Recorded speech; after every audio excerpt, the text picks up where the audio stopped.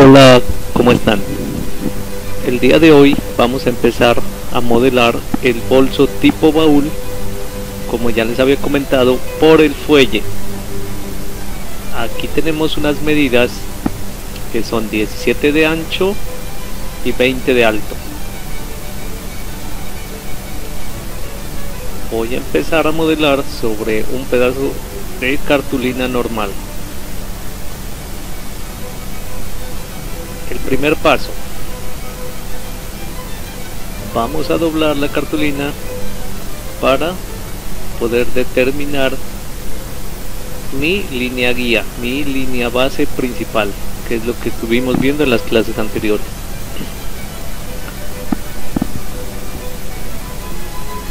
Utilizamos una regla y un lapicero o un lápiz bien afilado y trazamos nuestra línea. Y posteriormente la vamos a grafar que es el lo vamos a hacer con el borde de la cuchilla para no cortar el papel.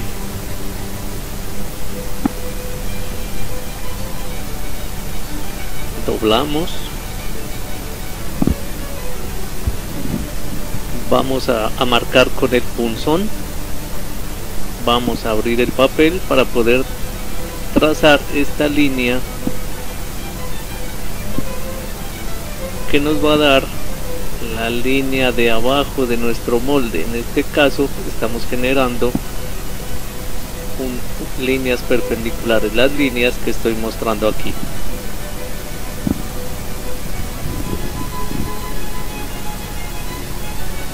Bueno ahora vamos a trazar la altura del molde que en este caso nos dice que son 20 centímetros. Vamos. Vamos a tomar una regla y vamos a medir esa distancia. Como nos dijo 20 trazamos los 20 vamos a realizar el mismo proceso que realizamos abajo. Utilizamos el punzón abrimos y trazamos. Recuerden que este procedimiento nos garantiza que las líneas queden totalmente perpendiculares.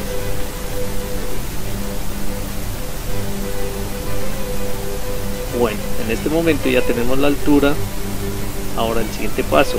Nos falta tomar este radio que nos dice que es un radio 7 podemos eh, utilizamos nuestro compás podemos tomar la medida con nuestra regla. Aquí la estoy mostrando podría tomarla con el con el compás sobre la regla pero vamos a utilizar esta regla que es un poco más precisa que la anterior. Podemos tomar la abertura con el compás o directamente con la regla trazamos esa medida sobre nuestra línea guía. Tomamos el compás y trazamos el, ese arco o ese segmento de círculo. Muy bien. El siguiente paso sería determinar estos arcos estos segmentos de arco que están acá abajo tiene 3 y 3 el ancho es de 17 nuestro molde. Primero vamos a medir el, el ancho de nuestro molde que nos dice que era 17 entonces tomamos 8.5 hacia acá hacemos el piquete. Lo mismo hacemos en la parte de arriba 8.5 8.5 hacia acá y trazamos.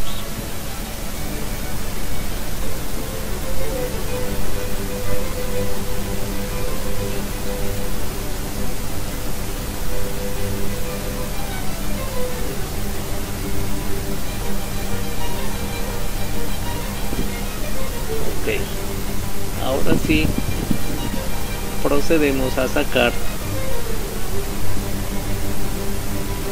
esos, esos arcos que estaban en las esquinas. Tienen 3 centímetros y podemos utilizar el compás para hacer el, el, proceso de la bisectriz que ya lo había enseñado la vez pasada.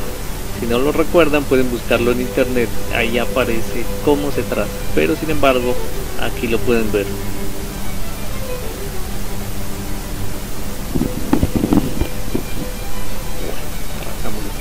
Ahora trazamos este de acá. Y obtenemos este punto.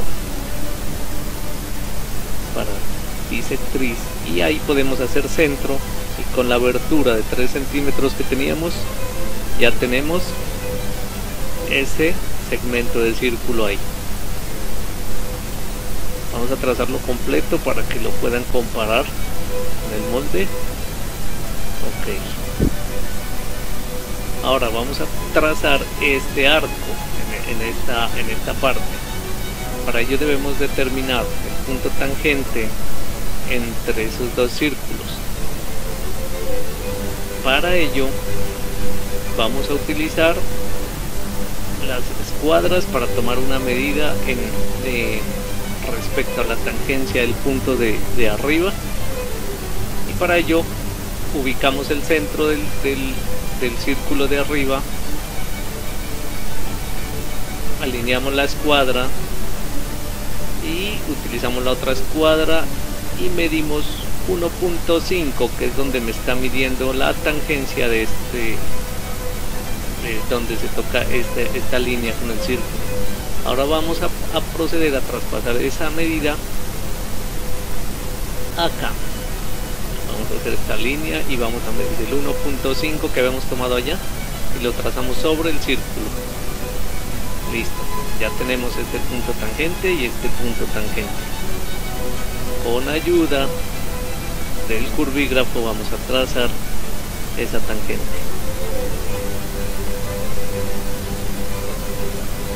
Bueno buscamos que esta curva toque en un solo punto a los círculos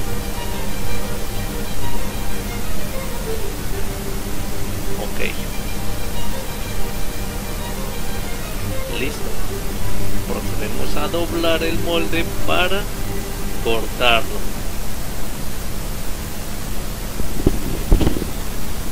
Bueno siguiente cortamos doblado el molde.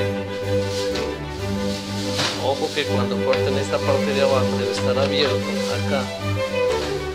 Aquí en esta parte abierto colocan las cuadras la regla de esta forma para que no se formen los famosos corazones, que es una forma que va así, termina en punta. Okay, este sería nuestro primer molde patrón del fuelle.